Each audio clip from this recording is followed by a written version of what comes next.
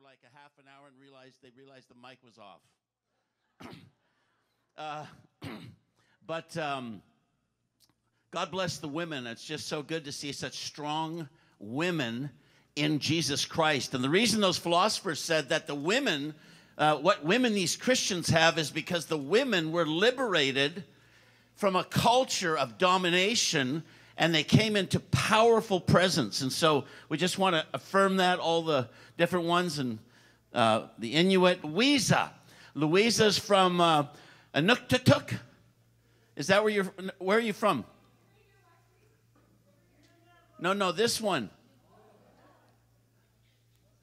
The one I met last night. Rebecca. Where do you live, Rebecca? Pond Inlet. Yeah. And so Stacy went there years ago, and uh, the, the name of your people is, uh, the language is called the Nuktatuk, right? And so maybe she'll tell the story, but that's where she was, after years of pushing in for healing, she was up at way up, way up somewhere. I, I don't know where it was. And uh, this lady was there and translating for us. And she came to our house in Kelowna, Canada. And uh, they laid hands on Stacy, and that's when the healing anointing was released in her life for the first time. Was right there. And so th- there's a powerful thing on these on the First Nations, First Peoples of this land. Well, I want to greet you in the name of the Lord. My name is Wesley. Stacy's en route from Rome tonight, right now. She'll be here in a few hours. She lands. and she's coming hot off the press of a three week tour in Israel, Switzerland, and Rome. And so she'll, uh, she'll have lots to share. And uh, I am Canadian. uh, I, I like being up in Canada. It's just, you know, I mean, just like, wow, those Canadians, fierce warriors. but, uh, but God has actually relocated us to Santa Maria, California. And so we have joined the Santa Maria healing teams, and we're part of their, you know, apostolic center uh, pushing the whole healing and prayer movement worldwide to see the promised billion soul harvest. What Lori shared this morning was brilliant. I have to get all those quotes.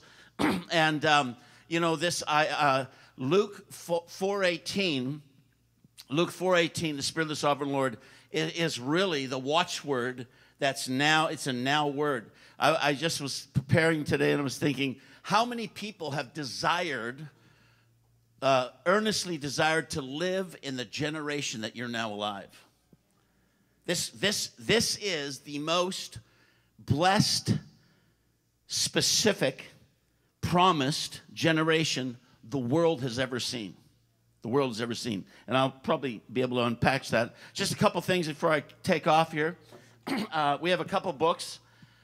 How many of you read uh, Praying the Bible or had Praying the Bible, The Pathway to Spirituality? Okay, a few of you. Wow, that's amazing. uh, so, this uh, way over here, um, this is 88 prayers of the Bible from a number of different translations, uh, even the Passion Translation uh, by Brian and Candace Simmons. and so uh, this lays them out prayers from the Bible that you can just have in the prayer room, walk, pray with little uh, introductions. And this uh, blue one, Praying the Bible, The Pathway to Spirituality, is 200 pages or so on the process of how to pray Scripture. The process of how to pray Scripture, all the way from Joshua 1 8, the earliest, you know, meditating on the Word, all the way through Catholic history, Protestant history, to present day. Uh, Dan Juster of the Tikkun Ministries, he's a Messianic Jew, said it's the best book he's read on Jewish prayer and how, how to pray from a Jewish perspective, and I take that as a tremendous compliment. And so uh, I, uh, I want you to get, the, uh, I've only got about 12 of these books, but uh, get those and uh, you'll be blessed. you can have those for your ministry, by the way, for your library there. Okay. All right. Global Harvest. Now, uh, what I'm going to share with you is has become my most beloved message. I think I've spent about a thousand hours on what I'm going to share with you in the next 45 minutes. So it will maybe be a bit like drinking from a, gar- uh, from a fire hose. And uh, maybe just take out your a note, pay, take out a pen, or your, you know, your uh, whatever you take notes on, and write out my email. I'm going to give you my email, and I will send you all this notes and PowerPoint to you because you will want it, but you won't be able to follow it. Because usually I have a great big screen, and so it's even difficult reading it to follow it. So just write that down. It's uh, Wesley, Wesley, that's my name, at Be a Hero, that's our ministry, beahero.org. Wesley at beahero.org. We'll send you these notes free, and uh, you're going to love that. okay. So, uh, we believe that we're on the verge and the cusp of the billion soul harvest. We talked about that this morning. We talked about that a bit yesterday with some of the leaders. That right now is the time that God is moving on the earth in unprecedented manner. This is happening all over the place, whether you're in uh, Southeast Asia, India, we work in all those places, Africa, uh, Latin American countries, South America. Everywhere you turn, God is on the move. And I remember listening to Mike Bickle, probably, uh, first time I heard him was Easter of, April 1989. And when I heard Mike Bickle, I, I mean, it was just amazing. And he began to share the prophetic history and promises of the coming billion soul harvest. I never conceived that there could be such a thing as a billion soul harvest. I thought things were just going to get I was from a, a very strict tradition called the Plymouth Brethren, and that's tighter than Mennonites. Okay? and um, my theology was everything was just going to get worse and worse and worse and worse and it was like one great big toilet bowl you know and just as you know just as the devil's flushing the toilet you go yeah jesus and you're about to go down the chute Michael blows or, or Gabriel the trumpet, and God sucks us out of there, and you just go somewhere and sing. And that was my end time theology. so when I heard this concept of a billion soul harvest, it amazed me. Now, how many of you have actually listened to Mike's eight part series that's on his, it's free, it's on his website, Prophetic History of IHOP? How many, wave at me if you've heard it. Okay, only three or four of you. That is must hearing and listening. You got to go there. Prophetic history of, of, of, of Kansas City IHOP. Why? Because it relates to your destiny. Your destiny is tied to those prophetic promises. and one of the primary voices of that was Bob Jones. And Bob Jones died and went to heaven in 1975, August. And he was, he hemorrhaged he had, blood was coming out of his, his nose, his mouth, every, and he hemorrhaged, and he, and he, he said he, his spirit left his body. He watched his body on the bed, and he goes, How did the devil do this? I was serving God. And he, he went up, he actually went into the presence of the Lord. Uh, it's a long story. We have it on, um, it's a 15 minute version. We have it on our Open Heaven CD, which uh, I might have some of those here tomorrow. But anyway, um, as he was coming to Jesus, Jesus put out his hand and said, Bob, it's not your time. And Bob said, he says, you have to go back. Bob says, I don't want to go back. They's persecuting me down there. and Jesus said, Bob, you have to go back. And then he pointed to a crowd of people, lines of people that were going into outer darkness. And uh, they had one chance to look at Jesus' eyes. One chance. And their eyes would connect and they would know it's true. Just pray for somebody right now. I'm praying for my son right now to get saved as I said that. He's not saved. and he doesn't believe. So, God, Caleb, right now, just save him in Jesus' name. So they had one chance to look at his eyes, and then they would go into outer darkness. And he, Jesus said, Bob, would you go back for them? Bob said, I'd go back for one soul. And Jesus said this I'm not sending you back for one soul. I'm sending you back to prepare my leaders for a harvest of a billion souls. A billion souls. And with that, Jesus touched his body, healing came into him, and he came back through, you know, this atmosphere. and there he was hovering in his room, and over his body were two resurrection angels, and they were they were working on him, and they were prophesying, and one just went shoo like this and pointed and pointed to the center of Kansas City, and he says, "Now it begins," and a great explosion of light like a mushroom cloud. Praise the Lord! I've got so many prophecies going through my head right now. the mushroom cloud of of Lou Engle, boom, the dream, and uh, you got to hear all this stuff. My head's so full of of this stuff that it's like I got books in my head, and they, they just all go all the time. they said, now it begins. And it was an explosion of the prayer movement. And that was 1975. And through many convincing proofs and infallible prophecies, comets, droughts, prophesied, earthquakes, everything, we've come 40 some years to the, today. And uh, in, uh, I was in uh, Texas, Lindale, Texas, on the day Bob Jones passed and went into his graduation. It was February 14th. Why do I? I always remember that because Bob always says, I'm his Valentine. I'm his Valentine. And it was 2014. and um, as he actually was going into glory, his spirit left his body and he came into one of his disciples' dreams. A man was, who was a disciple, spiritual son, Bob came into his dream. And uh, he was carrying a mailbag. The mailbag had candy bars. And he was walking up and down the sidelines of a great football field, and there were players, coaches, you know, owners. It was like it was like the biggest event. And Bob was handing out candy bars full of love and truth and transformation and they were eating these candy bars and being empowered. And they would go out onto the field and they began to play. And they, it was like football, but it was like the game of life. and signs and wonders were breaking out, healings were breaking out. And Bob said two things Your play card, your strategy, your game strategy will be Psalms 63. then he said, I need to be going up a level. You need to go up a level too. And he turned around and walked off into the sunset as the field changed into the cities of the earth. That's, that's like the hour he was actually leaving earth in real life. He was in the dream. In real life, he was going to heaven. psalm 63 is a powerful psalm. And uh, you all should know it.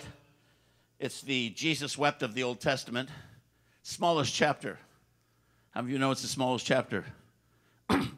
I used to vow that I would read the Bible every single day, a chapter of the Bible every single day before I'd go to sleep. Sometimes I was working 16, 17, 18 hours a day. I'd fall in my bed so tired. I'd go, oh, I didn't read my chapter. Psalm 63 was my go to chapter. huh uh, and you can open your uh, iPhone to this or something. says, may, may God be gracious to us and bless us, make his face shine on us. May God be gracious to us and bless us and make his face shine on us.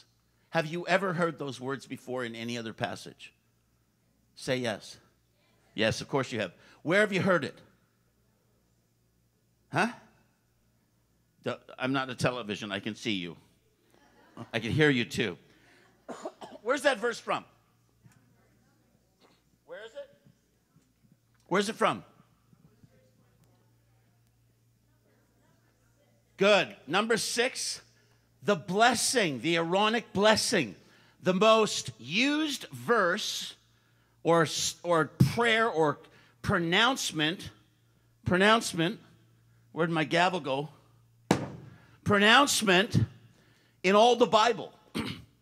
the Lord bless you. The Lord keep you. The Lord cause his face to shine on you. The Lord be gracious to you. The Lord turn his eyes toward you and grant you shalom, peace, the power to destroy all the chaos that surrounds you. that is the summary statement of that decree that God said. Now, he says, The Lord be gracious and bless us Verse 2 is very powerful. It says, so that. That's a purpose clause. So that your ways may be known on the earth, your salvation among all the nations. the Israelites were called to be blessed so that the ways of God are known on the earth. How are the ways of God known on the earth when a nation is blessed? Because if that nation says God is their father, and this is what happens in his family, everybody else says, oh, that's what God's like. And they want to join up. They, the nations want in. Salvation among the nations. Bob would say this, and you, you can turn me down just a tiny bit more because I want to yell louder. Bob would say this. He would say, the end time strategy is the believer walking in the pronounced blessing of God. you understanding your blessing is the key to global end time harvest. Why? Because as people see how you are living and how you're blessed, how your body is blessed, how your finances are blessed, how your family is blessed, then they say, I want that God. And healing is at the tip of the spear. Healing is at the tip of the spear. If you don't have healing, if you don't have health, if you don't have long life, it doesn't matter how much finance, it doesn't matter what's going on in your life, healing is at the tip of the spear. Then he says, May the peoples praise you, God. No, way too small. May all the peoples praise you. This was a call for global harvest by the Jews. It, it's shocking to me that it took the disciples and the Jews so long to figure out they were, act supposed to lead, they were actually supposed to lead the whole wide world to Jesus. Took him years. He says the nations are singing for joy, etc. Now watch this. May the peoples praise you, verse 5. May all the peoples praise you. Watch it. The land yields its harvest. The more you praise God, the larger your cucumbers grow.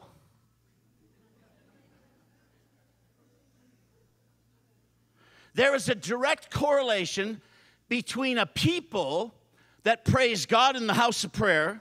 I mean, morning sacrifice, evening sacrifice, there's praises going up. there's a direct correlation to your land responding to the blessing of God. Did you hear that? We're, we're not just talking, you know, feelings. We're not talking about, you know, I had some joy. No, we're talking about tangibly the land responds to blessing. The land responds to praise. He says that God our God blesses us. God our God blesses us. When a people are walking in God, the entire land, he says, I'm going to bless your, your land, your crops, that which grows out of the land, your livestock, that which feeds off the land and feeds you, and your bodies. The entire circle is about tangible blessings. May God bless us still. Why? So that, verse 7, the ends of the earth will fear him. So I am passionate to get people understanding that God wants to bless them and have them walk in blessing. and then what that blessing means. That's why I've spent 1,000 hours on this. Now, uh, you know, I mean, I do this for a living, so I get the privilege.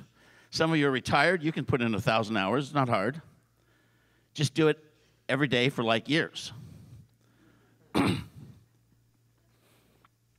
so, blessing. I made it my purpose to study every blessing passage in the entire Bible, and I'm doing it right now.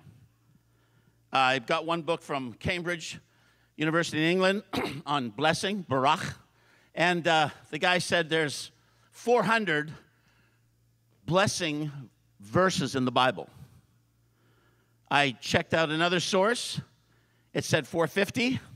I gave the task to my OCD pilot friend, Neil Livingstone, who reads 4,000 page manuals to fly the jumbo jets of Air Canada for 40 years, 35 years. He said there's 550 verses, and I can prove it. so let's just say there's 500. Let's just say there's 450.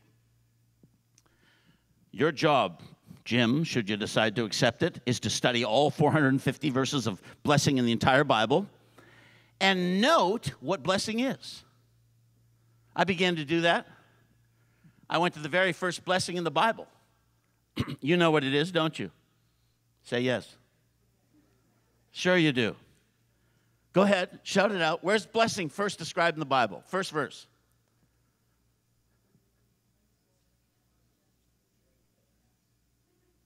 That's me waiting.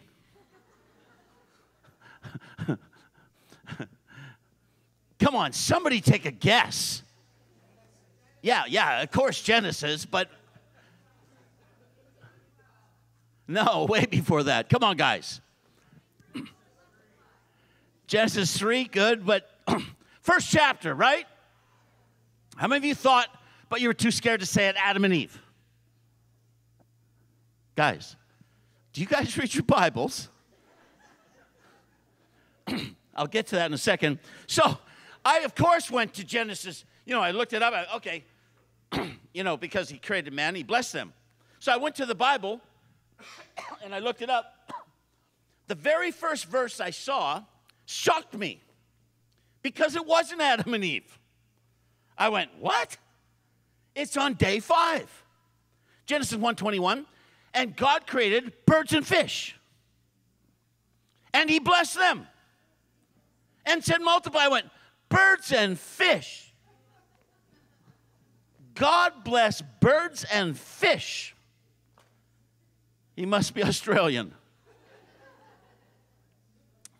birds and fish. I was in Australia preaching, and I was quoting, praying the Bible, and I goes, I was talking about obscure verses that I pray, and he goes, One's from uh, David going, Oh, I eat ashes for my food, and my drink is mingled with tears. I stand alone like a bird on a roof. I said, A bird on a roof?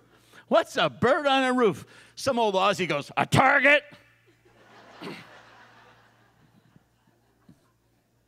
a bird on a roof. so, birds and fish. So I prayed. I said, God, why did you bless birds and fish? I prayed a long time. And then it occurred to me that's the first day he created life. when he created life, he blessed life. He blessed life. Now, stay with that thought. So the second verse was 127. So God created mankind, and in his own image, he created them, male and female. Adam and Eve, not Adam and Steve, Adam and Eve. he created them. And he, God blessed them. He blessed them and said, Fill the earth, subdue the earth, rule or have dominion over the earth, as caretakers made in my image. Now, here's the point the word bless, this is out of a theological dictionary. Theological dictionary. In other words, you can't change words. Words mean what they mean. The word bless means to endue with power for success, prosperity, fecundity, longevity. How many of you know what fecundity is? Of course you don't. I didn't know it either. I had to go to the dictionary to understand the dictionary. Fecundity is fruitfulness. Now, watch this. God created mankind, and the first words that mankind heard was a pronouncement of blessing with the power in the pronouncement to be successful in all they do. That's what the word means. The empower, to empower for success to empower for success. Now, here's the beautiful thing if you are alive today, if you have breath, you're ordained for success, blessing. Come on. That's good. Clap for that one. if you have breath and you're living, this is not Old Testament, New Testament. The first decree of God and the, per, and the thinking of God is He's going to empower you to be a success. This is huge. This is so wrapped in um, Genesis. Blessing is mentioned 80 times in Genesis. 80 times. Why? It's the beginning, it's the foundation. 80 times. Do you know how many times love is mentioned in Genesis? I think it's a 13, and only five of them, you know, have to do with love, love. Why? Because God was establishing the relationship. He cre- he's the creator, and as the creator, He blesses us to, as it were, manage, caretake, take care of the earth and, and, and, and the people. so this was huge to me, and still I'm on introduction.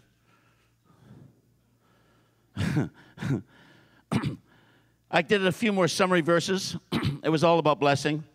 And then, as you know, because you saw the movie Noah, things just didn't go well. People didn't want to be blessed, they didn't want to follow God. Their hearts are evil continually. That's the Lord telling me my time's up. uh, that was a little ding I heard. it's probably my own phone. And so God, God comes up with a plan we're going somewhere with this. And he calls a hook nosed Iraqi out of Babylon, or the Chaldees, and calls him to go out of his father's land, and I will show you, you know, what I'm going to do with you.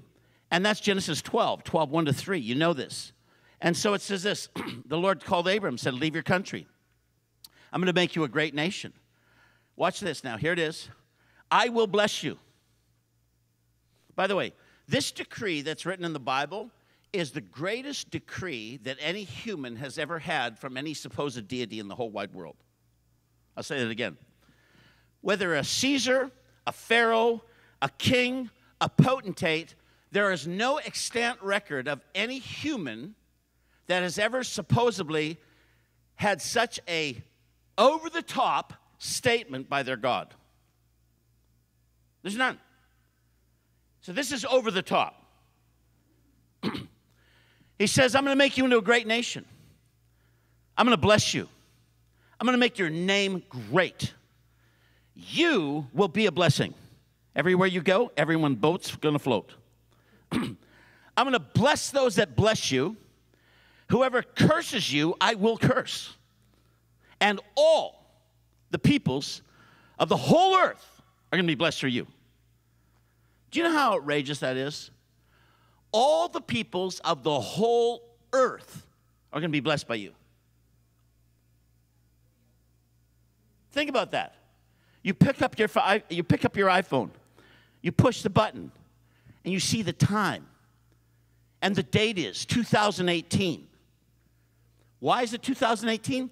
Because that's based on Jesus Christ. And Jesus Christ came out of the loins through the children of Israel, through Abram. You got out of bed this morning because of this blessing on Abram 36 thousands of years ago. Do you know that? Come on. You got out of bed today. We are gathered, dearly beloved, we are gathered here today. We are gathered because of this promise thousands of years ago. And the whole earth, the Inuit, I mean, all over the earth. You think about it. And so, this blessing. Now, the blessing is over the top, and I'm going to try and cut to the chase here. I was pretty good in the blessing until I started getting to, you know, Exodus, Leviticus, Numbers, Deuteronomy. When I got to Exodus, Leviticus, Numbers, Deuteronomy, especially Deuteronomy 28, it threw me into unbelief. Why? Because the blessing is so all encompassing. It's so huge.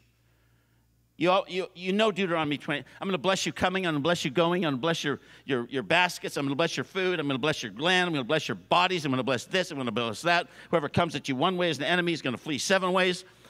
There'll be none of these diseases. There's going to be no one infertile among you. There's going to be no miscarriages.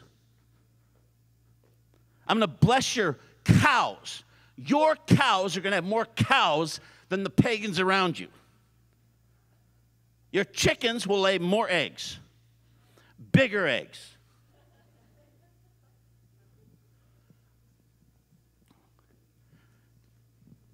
And then, of course, there's the curses. Now, when I read that, and I looked at blessing and I looked around, I didn't see that. I didn't see that in the church. I saw sick people everywhere, crazy people everywhere. That's a joke. and, and I, I, started to, I started to take stock and I said, this is what the Bible says, but it's not happening. So I finally had to d- make a deduction. This can't be true. Maybe that's just a promise to the Jews, and that's why they're always rich.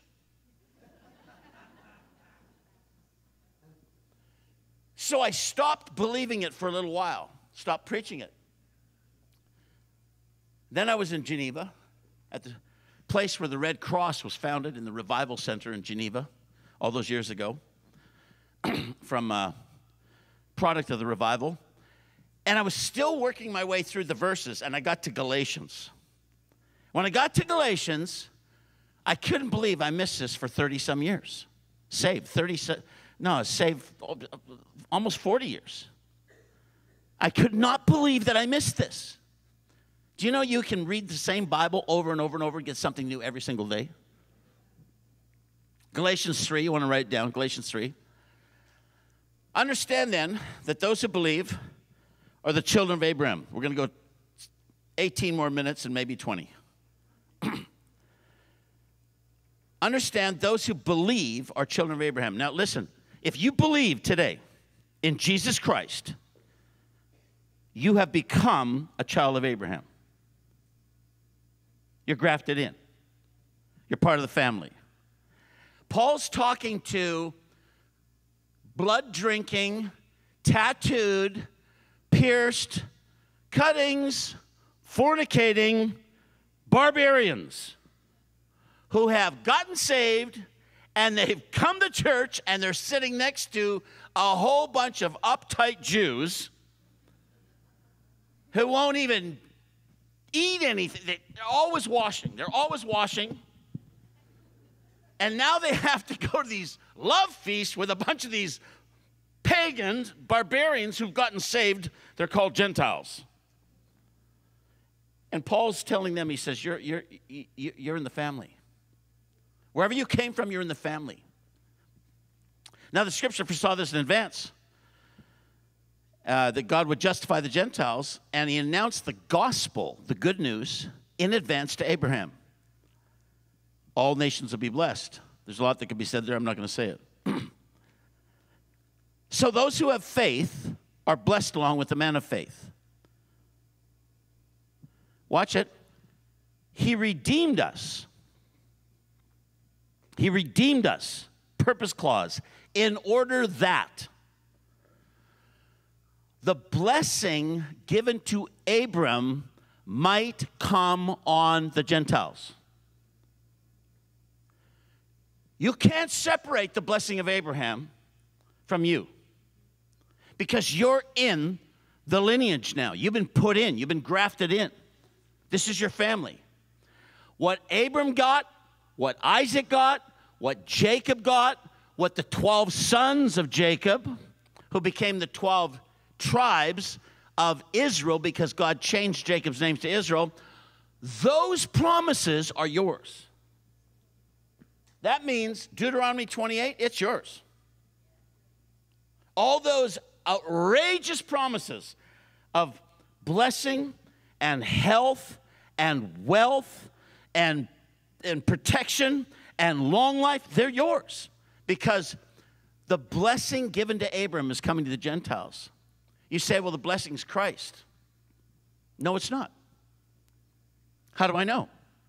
Because he says right there the blessing comes through Christ. Through Christ. And by that faith, we receive his spirit. Why does it come through Christ? Now, here it is. Why didn't the Jews get the blessing? what happened in history? Because there was all this if then. If you do this, I will do that. If then. there never was a remnant large enough to tip the scales because as a nation, they just kept going astray. And the then was, then uh, the curses will come upon you. Now, the reason blessing stopped in Israel was because of their disobedience. Here's the beautiful thing Jesus comes in and takes the curse. He takes the curse. And he invites you into the family. And so the if then is this if I don't, something happens, it goes on Jesus. I have an advocate with the Father. I'm left with, through Jesus, God is free to bless me. He doesn't have to curse me because Jesus took it. That means I have to dial in to the blessings that God promises to Abraham on earth. That's huge. That's your job. And it, it starts by having an entire mind, mind change. We're not called to survive, we're called to overcome. We're called to be victors. You know where the word Nike comes from? Overcame by the blood of the Lamb. Victory. It, it, it, it's, it's overcomer. That's where Nike comes from. It's a Greek word, Nike. Nike. That's what it means, overcomer. We are overcomers. So if you belong to Christ, you're Abram's seed and heirs. The inheritance of Abram is yours. Now, here it is. That day in Geneva, I went crazy. I mean, it was Christmas all over again. I went, whoa! I said, I, I, went to, I went to the book of Genesis and became a madman reading Genesis. I didn't even used to like Genesis. I like fighting stories. David's mighty men, Shamgar in a pit with a lion. now I went, Genesis. Why? Because it's like my bank account. I have to go to Genesis and look at the manifestation of blessing in life of Abram, Isaac, Jacob, Joseph, the 12 sons, if I can see what blessing looks like in their life, I have authority to call that into my life. Because I'm promised the blessing of Abraham. Now, moving to wrap this up. the first contention he had was what? Abraham, I will bless you, and to your offspring I will give this land. Now, that's problematic when the guy's 75 and he gets the promise, and his wife is like 60 or so, or 65, I can't remember. That's, that's the start of the promise. Like, something's not working here. So he goes, and they go on for like a whole bunch more years, appearances of God, and every time he's kind of a little bit down, God just appears to him and says, You're going to have a, you know, it's going to be great. so they come up with a great idea. I will have a child through my wife's nurse or servant.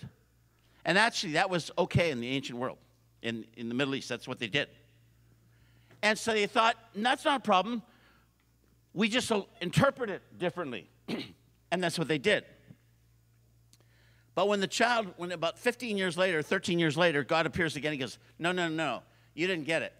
You're going to have a child from your own body through Sarah's own body. She laughs. Did you preach on that? She laughs. He laughs. Guess what? There's breakthrough. There's breakthrough. And the first, not the first blessing, but the powerful, the most powerful expression of blessing that they receive is a miraculous birth to an impotent woman. And if that's not enough, Isaac and Rebecca, she's impotent. She can't conceive. Jacob and Rachel, Rachel can't conceive. All three of the, of the matriarchs are all barren. Blessing begins right there with healing of the body. Come on. The whole thing was breakthrough with healing of the body. And if the, if the body's not healed, doesn't matter what you have. You can have a lot of cows, a lot of camels, a lot of chickens, but if your body's not healed, you're not focusing on the camels, cows, and chickens. And they broke through. And then it just passed right on.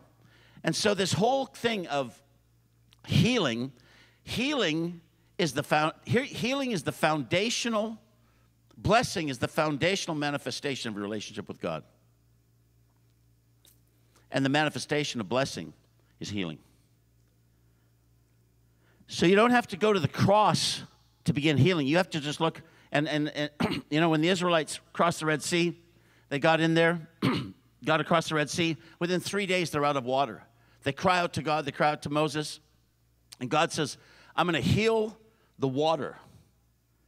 That's Exodus 15. He heals the water. And he says this from now on, if you have any need in your life, I will be to you, watch it, Jehovah Rapha. Rapha. Jehovah Rapha. That's the Lord God the healer. That's his name. The Lord God the healer. That's his name. And so we go fast forward. The prophets foretell a future coming when there's coming a Messiah, an anointed one who will be the perfect Son, the perfect King. And Jesus Christ himself comes into Nazareth. As we said, Luke 4:18 and he announced, "I'm that one.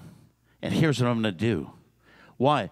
He broke through because he never sinned and the curse then came on him. And he was the manifestation of healing was the evidence of the new age, the age to come that the, all the prophets said would come. And just as it broke through in Acts, and we saw a plethora, we saw the greatest amount of healings that the Bible had ever seen, there's coming a move at the end of the age which will eclipse, which will eclipse what happened in Acts. Come on, it's coming. and Jesus himself said it Greater things will you do because I go to the Father. We believe that we're in this, you know, we've just crossed 70 years. Uh, Israel became a nation. And 70 years ago, they just celebrated 70 years. That was one week or two weeks ago when we had our 10 days in Santa Maria. We're calling out in this year for the 70 year release since the great healing revivalist birthed on the scene. William Branham, you know, Oral Roberts, A.A. Allen, T.L. Osborn, all these greats, they were raised up in a three year window 1946, 47, 48. right there, that three and a half year window, they were all raised up. Canada, Canada had the North Battleford Revival, the Latter Rain Revival. That was 70 years ago. And right now, the prophets are saying worldwide, get ready. There's coming a, a, an outpouring that will eclipse all outpourings. And so your job is to understand theologically your premise that I am called to be a healer. I am called to walk in blessing. It's the strategy for the end time harvest. It manifests who God is. And when you do this, you're going to move in. Those early revivalists, they read it, they fasted, they prayed, it was a season of God, and they just exploded, and the earth exploded with great revivals 70 years ago. We're at 70. 70 is a, t- a thing of coming out of captivity. So I want to I want to pr- uh, propose to you that uh, you study the blessing, you get into the blessing verses, and you start contending for the manifestations of blessing in your own life, in the life of others. And there's an authority there to say, it doesn't matter what comes against you, everything's going to come against you. Hell will come against you. Hell will come against you. But it doesn't matter what comes against you. Jacob said this when he was flying, he fleeing from Laban. He says, he says, he's going away, and Laban comes to catch him, and he goes, he says, 10 times you cheated me and changed my wages. 10 times. He said, Had it not been for the blessing of Abraham, and uh, the God of Abraham, and the fear of Jacob, he says, I would have left with nothing. But what did he leave with? He left with everything. It doesn't matter. You can be thrown into the pit like Joseph, but the story's not over. As a teenager, he's in the pit. As a 30 year old, he's in the palace next to Pharaoh himself. And I'm telling you, regardless of what goes on in your life at a, at a given season, no matter what the, the thing happens to you in the season, you keep holding on to the blessing and you push through. You push through, and, and you're going to come out on top. God says this again, I'm going to close with this. Let's just stand up. Do you all have, does, uh, how many people have access to a Bible here right now? Or, or, a, or a scripture like a, a device? Okay? Okay, here's what I want you to do I want you to get into a group of three, three, group of three or four. And I'm going to want you to pronounce this favor on, on each other, the blessing. Number six, verse 22 or 3 to verse 27. Okay? And uh, I want you to get kind of like so you can look at each other's eyes, you know, not in a line, but in a circle. Okay? And I want you to pronounce this blessing. Let's have, uh, is, is that gentleman with the guitar, is he still here? David? Maybe just come and play some, play over them. okay, here's what you're going to do. Numbers, yes, Numbers 6, verse about 22 or 23.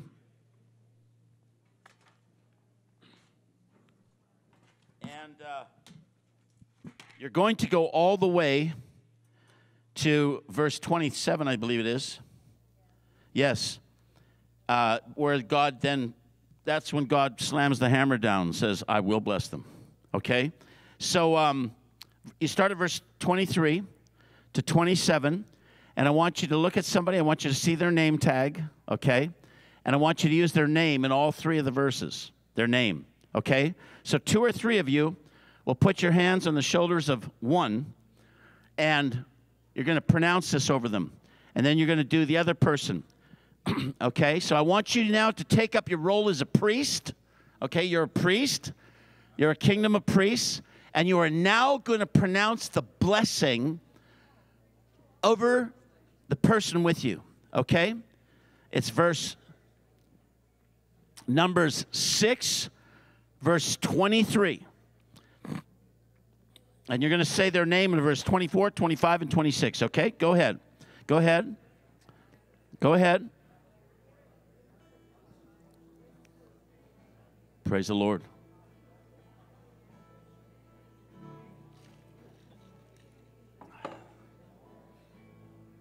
Wow. Come on, here it is. Blessing's coming on you now. The blessing is coming on you now. Say their name. Say their name in all three verses. Joanne, the Lord bless you. Come on, that's it. And then you when you finish one, you switch it around. You do the next one.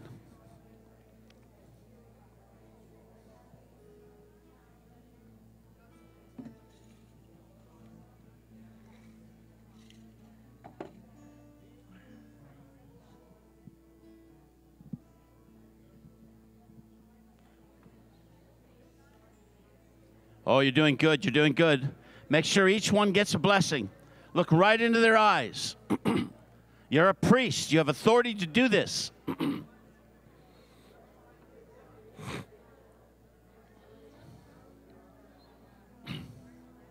Praise the Lord.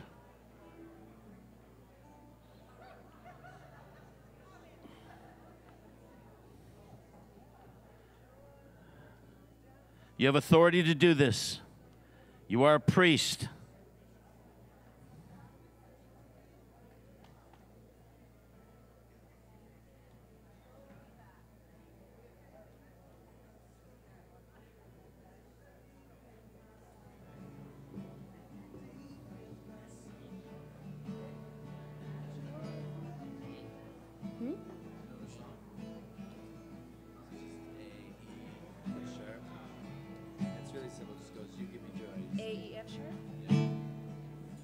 Praise the Lord.